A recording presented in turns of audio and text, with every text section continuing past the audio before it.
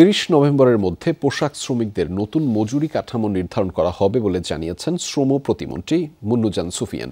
সন্ধ্যায় এক সংবাদ সম্মেলনে তিনি জানিয়েছেন, মজুরি কাঠামো নিয়ে গঠিত বোর্ড কাজ করছে।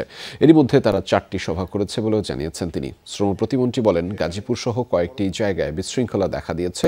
এই ইস্যুতে বিভ্রান্তি ছড়ানো হচ্ছে বলেও জানিয়েছেন তিনি। বিএনপি মজুরি ইস্যুতে শ্রমিকদের ক্ষিপ্ত করে রাজনৈতিক ফায়দা নেওয়ার চেষ্টা করছে বলেও অভিযোগ করেন মুন্নুজান সুফিয়ান।